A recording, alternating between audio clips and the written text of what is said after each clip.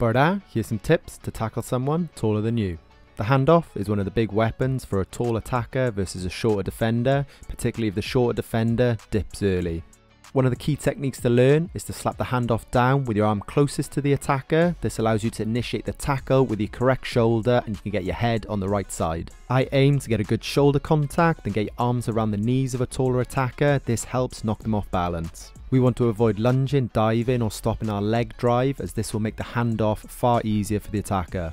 Instead, we really want to fight to keep our legs driving, this will help finish the tackle off.